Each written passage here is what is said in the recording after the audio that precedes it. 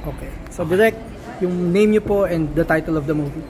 Yes, hi. Uh, I'm Ray Andulay, the director of The Revelation. Uh, showing po on June 21. Bukas, sana po uh, supportahan nyo at panoorin nyo. Tell us uh, briefly about the story. Um, ang story po na ito ay ito ay uh, multi-genre film, no? Multi-genre film. Nandito na yung horror, meron itong suspense thriller, uh, drama, action, uh, puzzled and investigative movie. So, napakahirap ikwento ng gist pero you know, sana panoorin nyo sa mga sinihan para makita nyo kung ano yung sinasabi kong multi-genre film. Thank you, thank you so much. Yung mga artista niyo po direct, uh, paano po sila nabuo? Paano sila napili? Ah, okay. Of course, um, lagi kami nauuna, lagi kami nauuna sa istorya.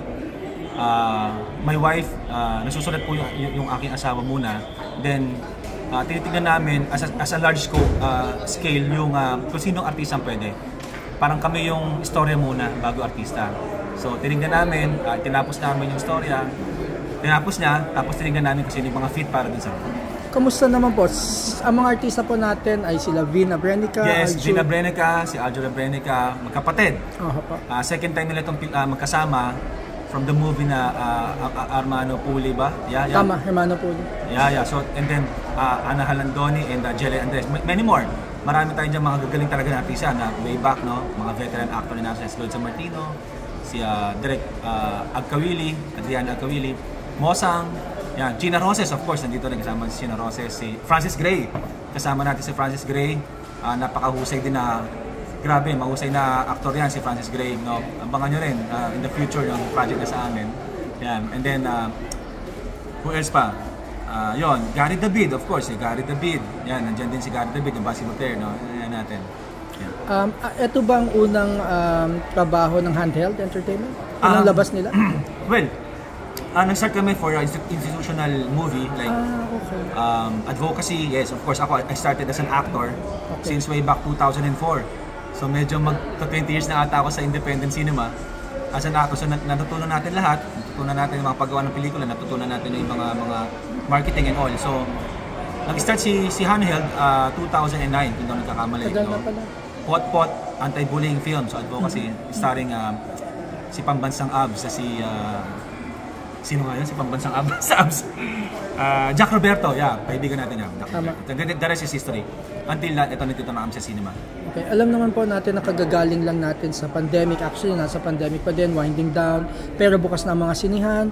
Ah, bigyan po natin ng dahilan yung manonood para tangkilikin tong movie na to.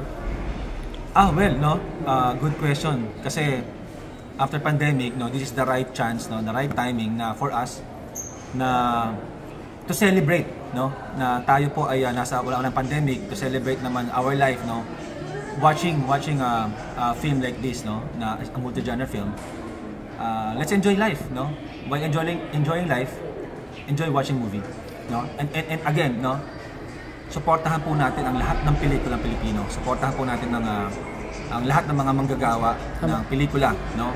Sana wala po tayong pipiliin wala tayong um, ida-down or ah, pipiliin lang na panoorin ako ako as a filmmaker ah, sana panoorin po natin lahat lahat lahat ng pelikulang Pilipino Kasi di may iwasan na minsan may kasabay kang pelikulang Ah, Pilipino. yes, yes, actually, ah, yun nga. Actually, hindi naman natin silang uh, tinitingnan na kalaban. No?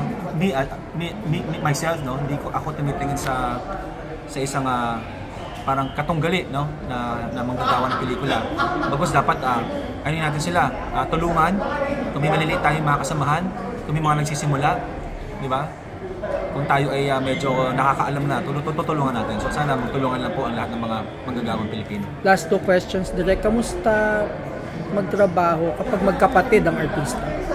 Madali, Okay. mahirap.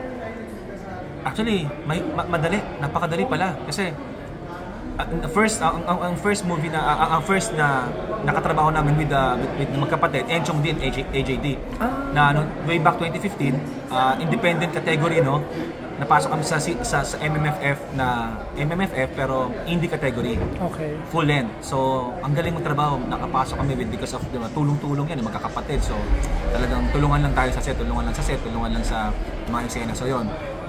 Shoutout pala kay Direct Sion Lim na nakikita ko na sa aking peripheral. Nandiyan na sila. Last question ko po. Kamusta naman po si Jelay? Kasi nagsimula talaga siya as a online celebrity. Yeah, no? Ngayon, yeah. crossover na siya. Ah, well, no? Last question. Ah, honestly, honestly, um, ah, nabigay niya ng, ng more than we expect, expected. Eh. Kasi bakit? Una, una kasi namin ginagawa, binibigyan namin yung script, no? Binibigyan namin yung script, binibigyan namin yung story, characters. So siguro, advantage yun para itong si, si, si Jelly Andres ay ah, kahit wala pang shoot, nakakapag-ensayo na. So nung nag-shoot kami talagang, you know, takbo siya sa mga lupa, takbo siya sa mga damuhan. Galing eh. Galing. Tatang- tatanggap pa ba kayo ng acting jobs? Ah, ako po? Oo. Personal? Kasi nagsimula kayo bilang aktor, di ba?